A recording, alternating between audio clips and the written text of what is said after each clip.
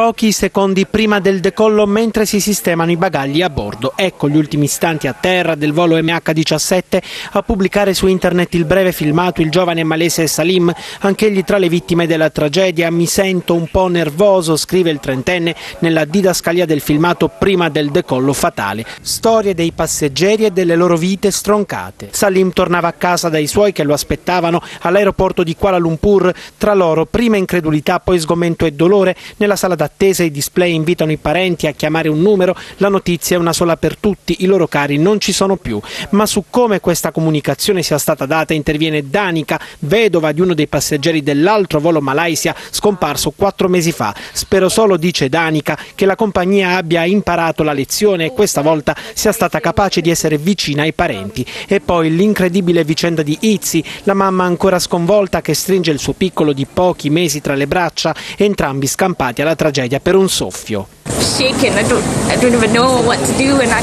Ero in taxi col piccolino, correvamo verso l'aeroporto per prendere l'aereo, ma poi il bimbo ha avuto mal di pancia e abbiamo perso l'aereo. Sono convinta che qualcuno ci guardi dal cielo, così adesso abbiamo una seconda vita.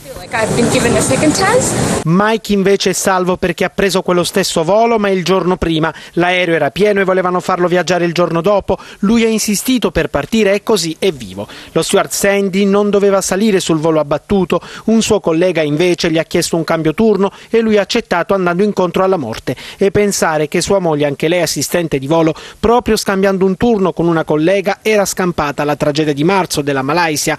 Kaur aveva fotografato l'aereo e scriveva se dovesse perdersi ecco com'era, invece quell'aereo è proprio esploso. Tra i rottami, oggetti personali, addirittura peluche.